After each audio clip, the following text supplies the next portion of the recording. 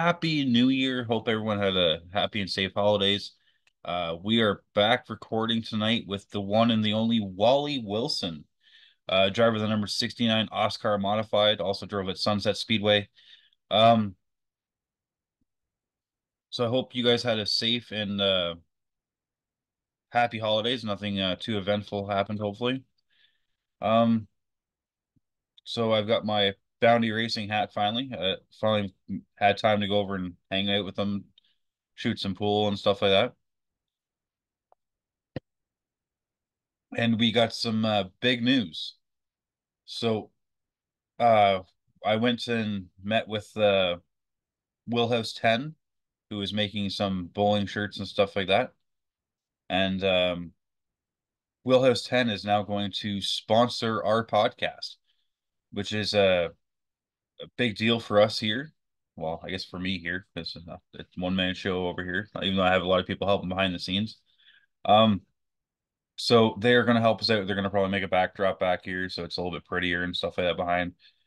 But uh, has 10 is uh, getting into doing the like crew shirts and stuff like that. So like I have bowling shirts I'm going to post online so you can see what they look like. They they made Paul's hat here. This is they make a bunch of hats and these like full back hats and stuff like that.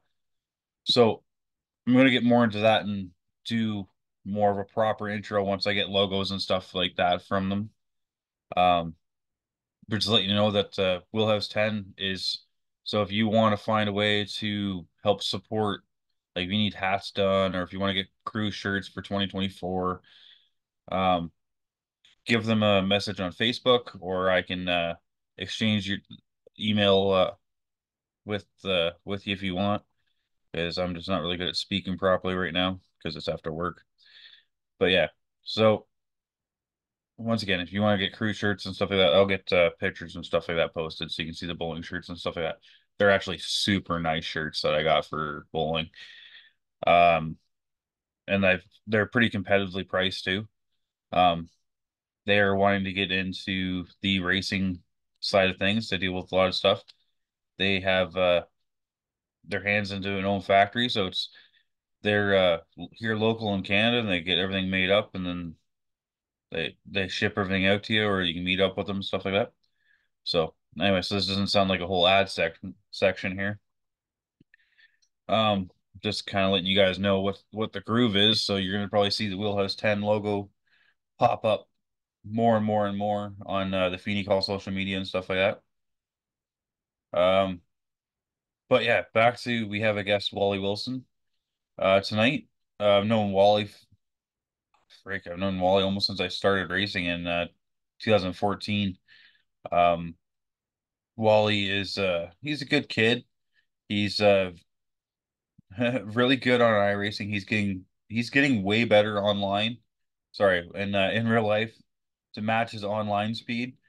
Um, for a few years, it was uh, some of us poked fun at Wally and stuff like that, trying to get him to be a little less timid, let's say. But uh, yeah, he's he's coming out of his shell. He's he's uh starting to become a front runner in the Oscar modifieds as well as other cars.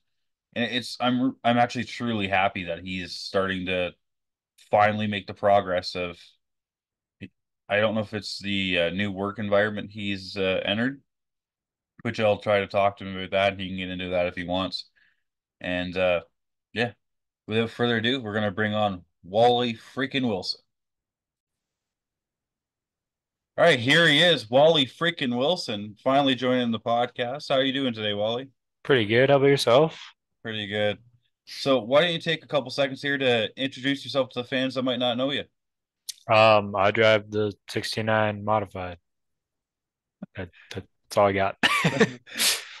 That's all you got. You drive the the black and red 69 Oscar modified, which I guess you had are you touring at Sunset again this year? Or? I believe that's the plan, yeah. Do Sunset and Oscar, pretty sure. As long as they don't coincide with each other. Yeah.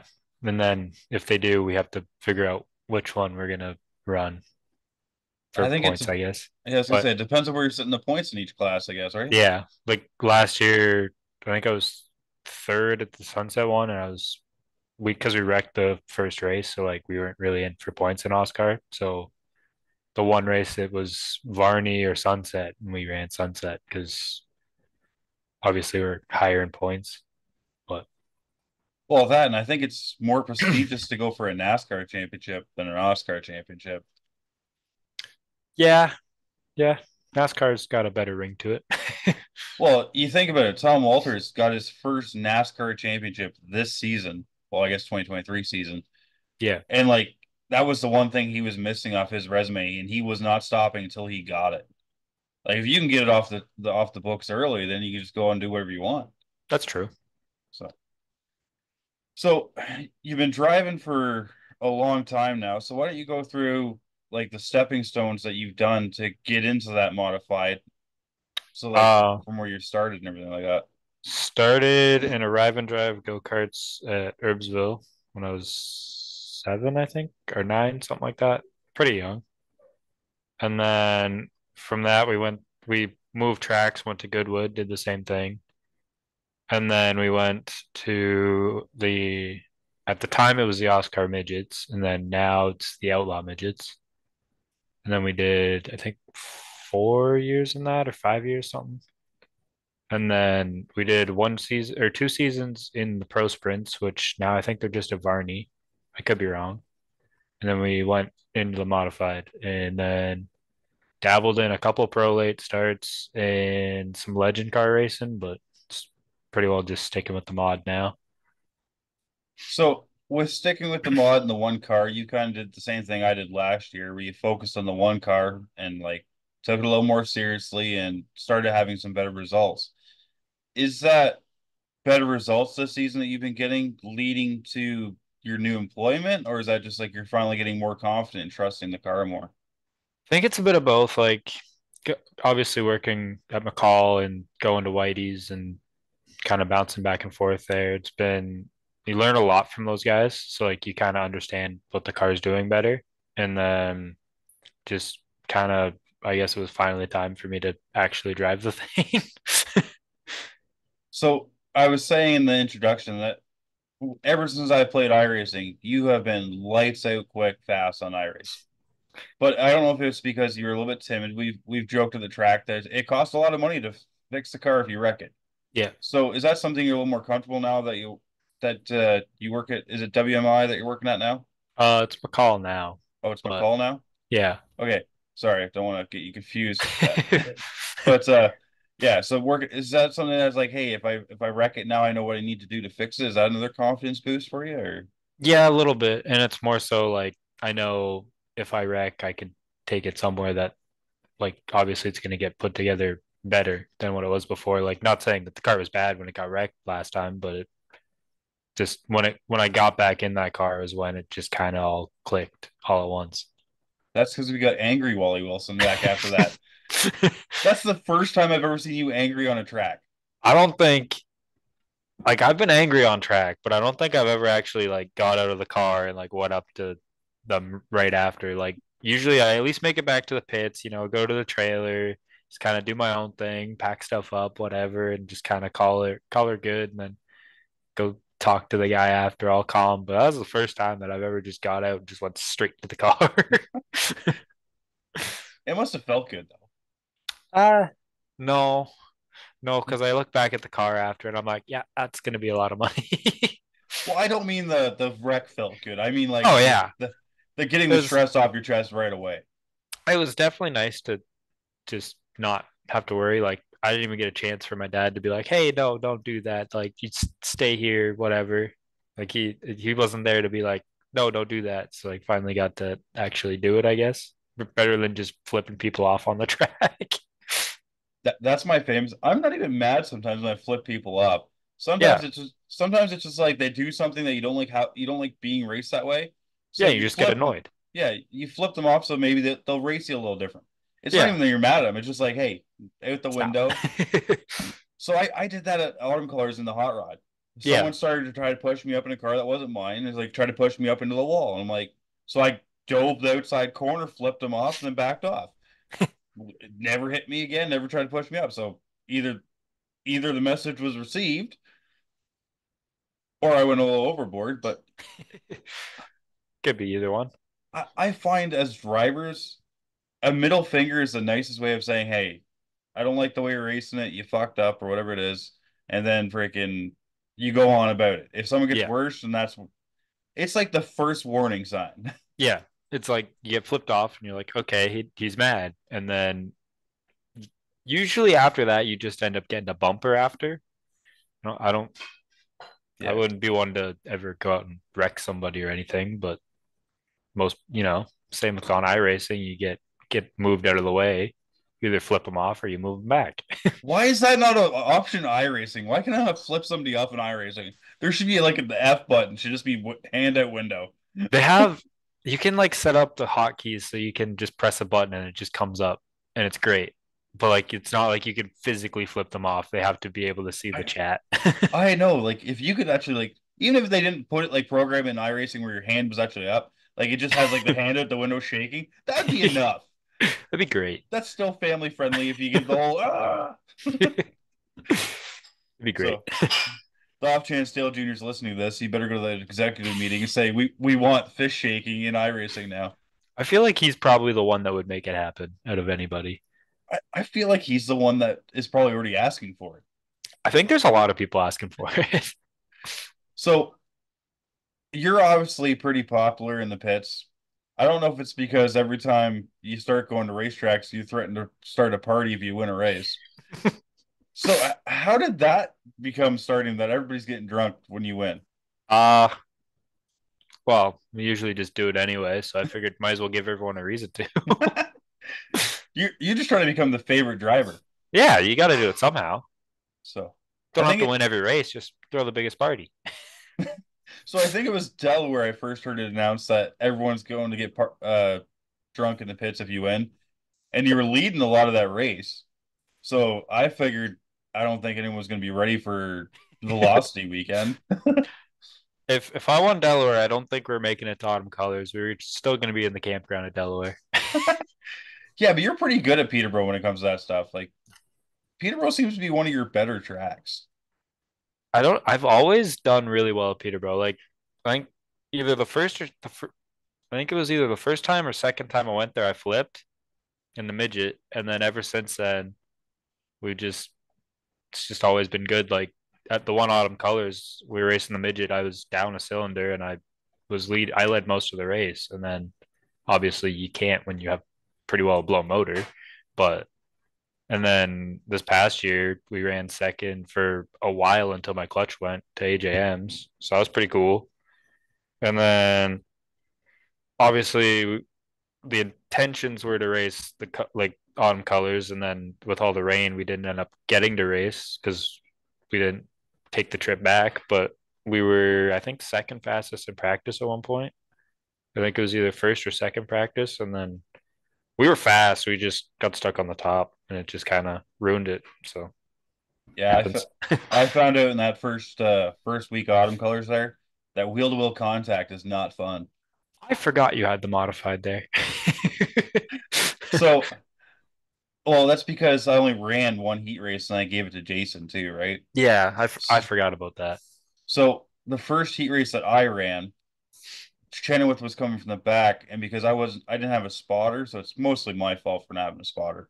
So he went three wide with, I think it was McNichol back with me, and so I didn't know we're three wide, so I came in like a normal two wide arc, Yeah. and I my left front hit McNichol's right front, and the whole thing just did a wheelie. I'm like, oh, that's the wall, that's gonna hurt, and it landed and cut left. I'm like, yes, no wall. You got lucky then. I, I brought frame savers to colors because I already had like they came with the car, yeah.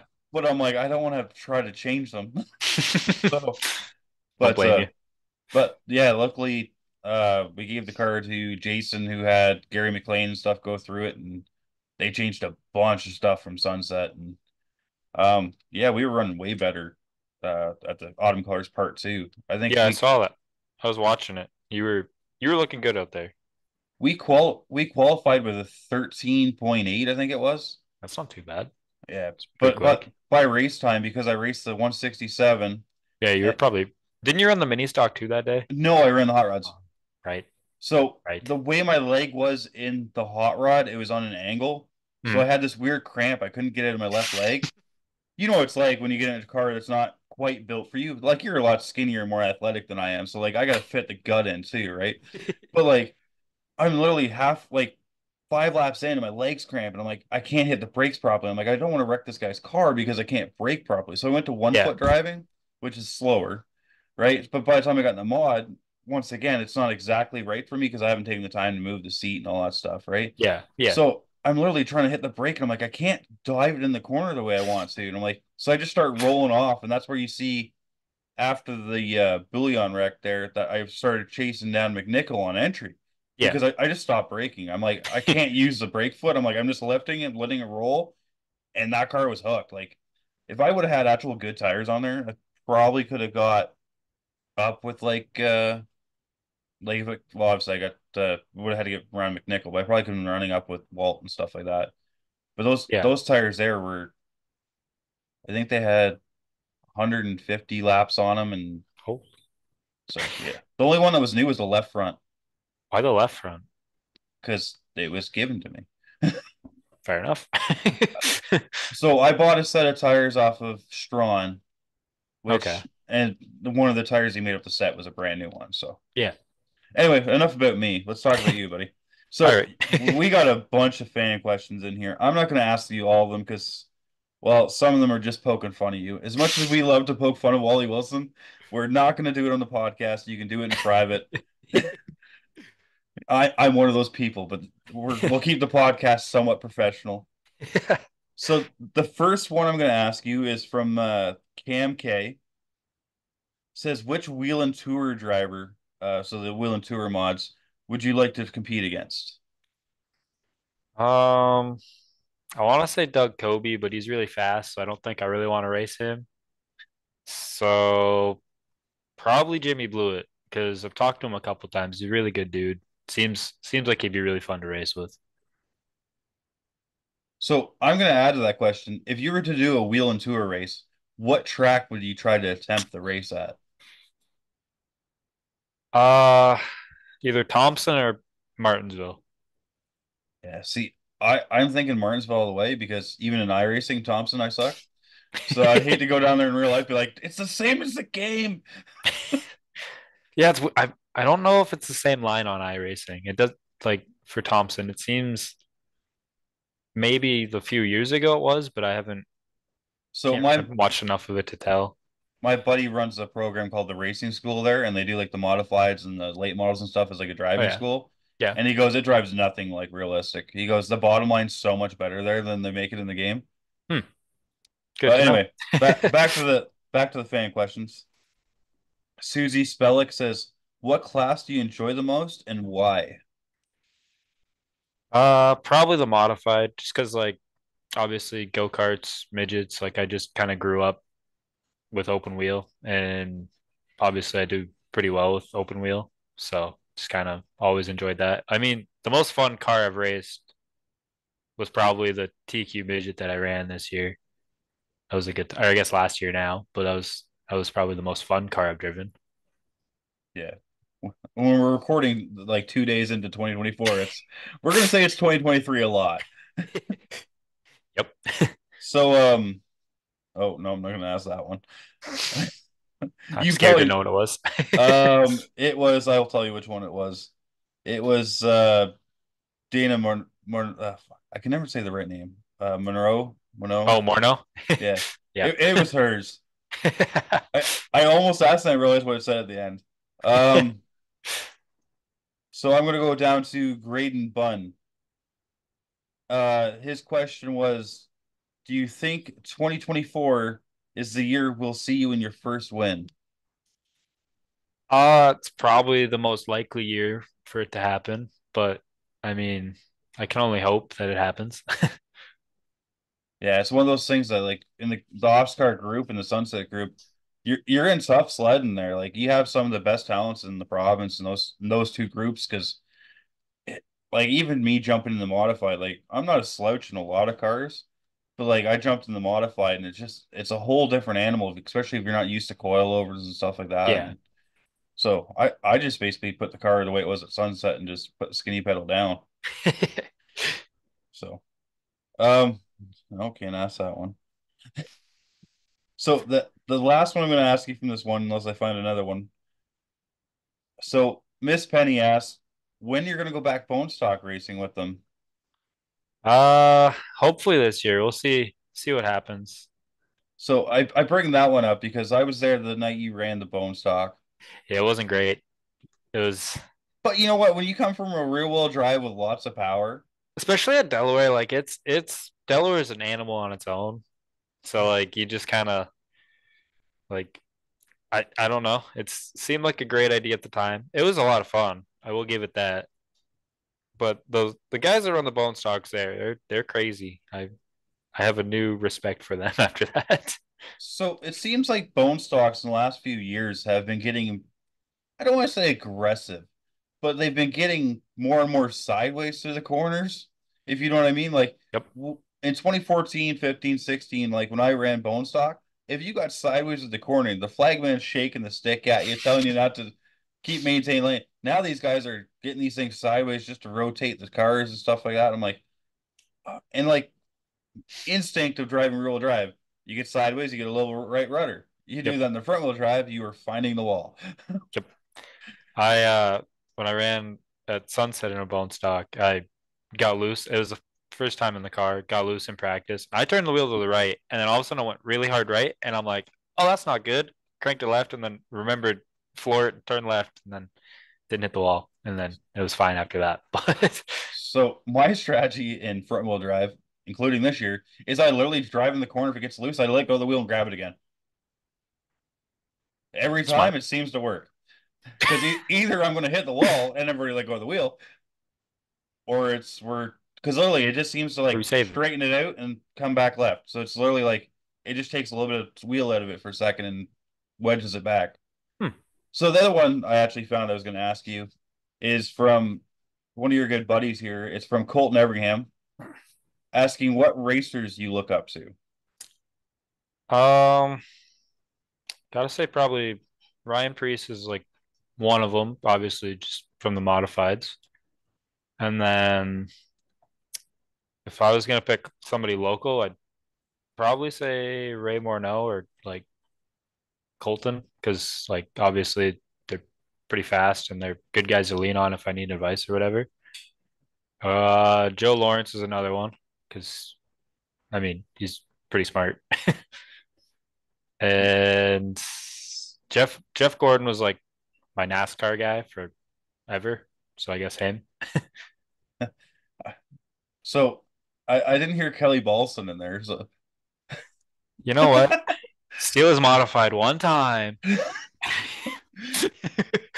So, and the, the funny thing is about that, like you guys have like this ongoing joke.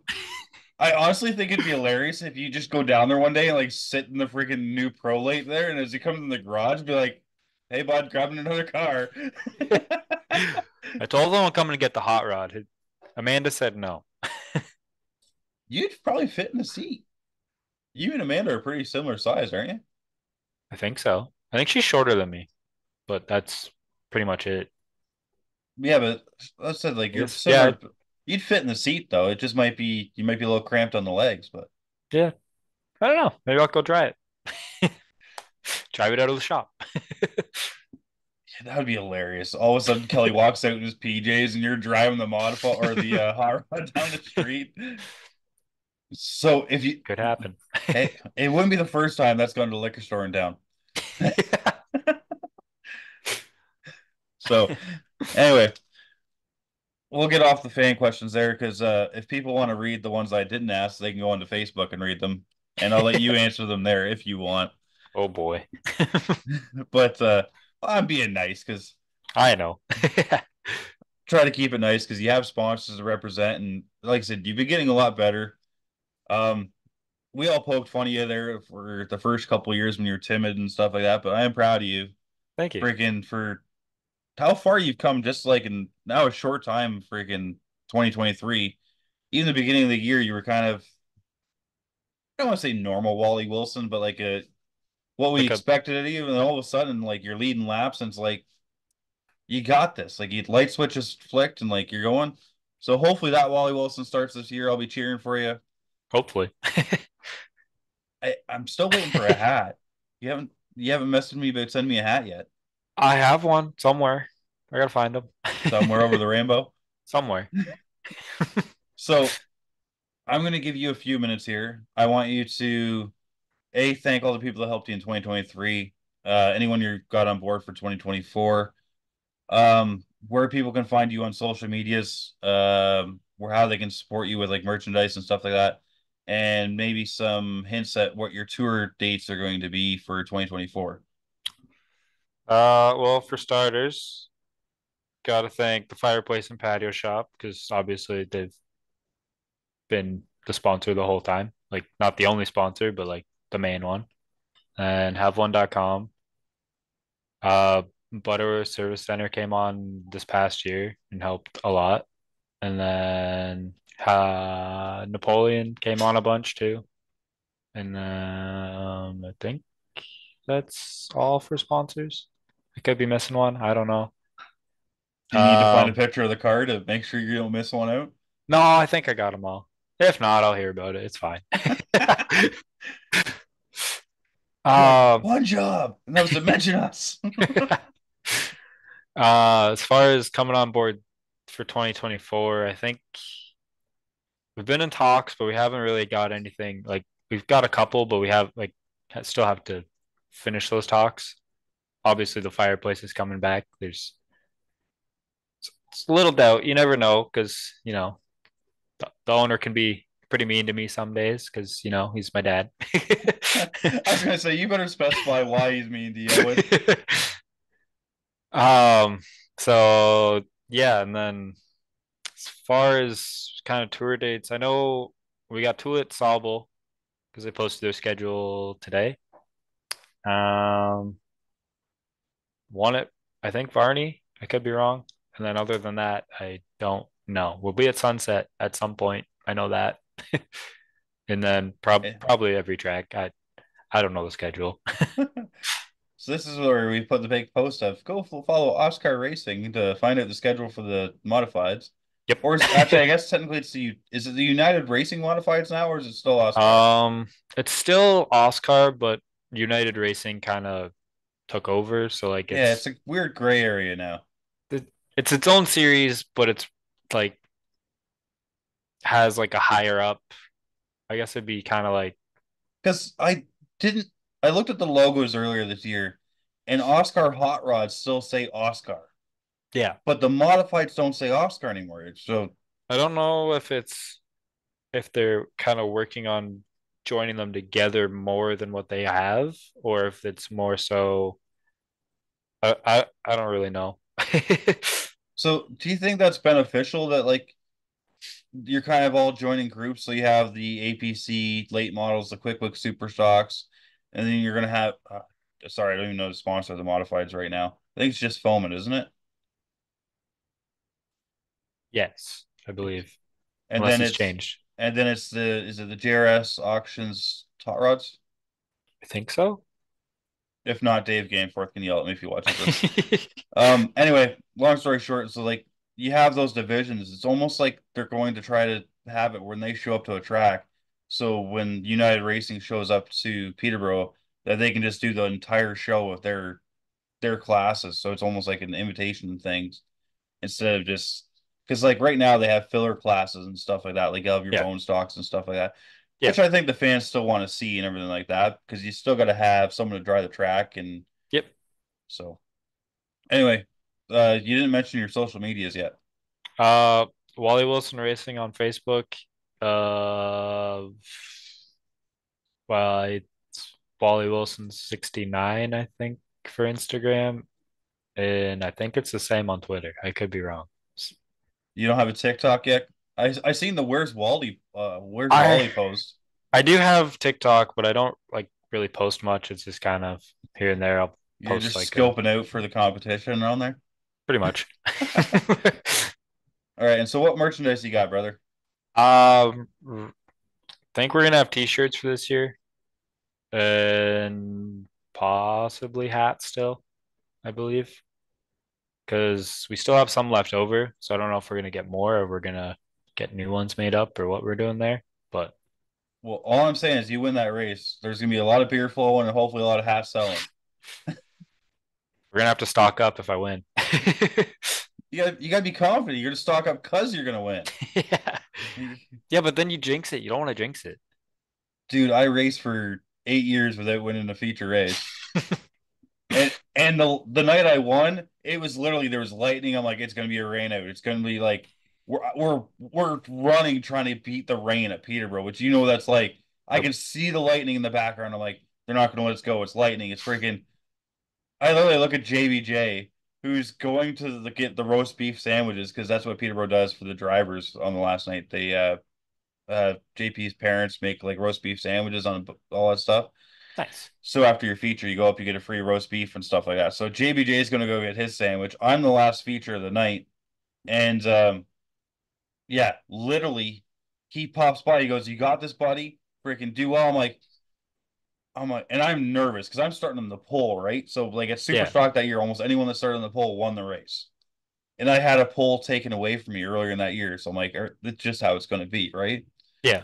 So I literally look at him like shaking. He goes, "Dude, just calm down." He goes, "You've got this." I'm like, "No, I'm hungry because they parked me right beside the roast beef. I am fat." he goes, "Don't worry, buddy. I will bring your roast beef in Victory Lane if you win." He didn't bring me a roast beef sandwich in Victory Lane. I was that would have been iconic. That would have been JBJ great. Uber delivery friggin' from roast beef in Victory Lane. So if I think that this, that should be a cool tradition. Last night of racing, everyone has a roast beef sandwich in Victory Lane at Peterborough Speedway. That'd be cool. So the Zardos have their beer in Victory Lane. I'm gonna have roast beef sandwiches. What are you gonna do? Not to steal from the Zardos, but probably a beer. I think Lane will let you have it. You'll just have to pick a different Sure. brand. I don't even know what they drink. I believe they're. I don't even want to say, but I'm pretty I sure want to say it's Busch. I thought it was be Coors. I don't know. I've seen Lane drink a lot of beer. It might be cold. Cold. Anyway, thanks for joining me tonight, brother. Uh, I wish you the best of luck in 24, uh, not 2014, 2024. I got the four right. I just forgot the two. But uh, yeah, I wish you the best of luck, and um, yeah, hopefully we can uh, let it more secrets and let your schedule out sooner. Hopefully. Thanks for having me. All right, thanks.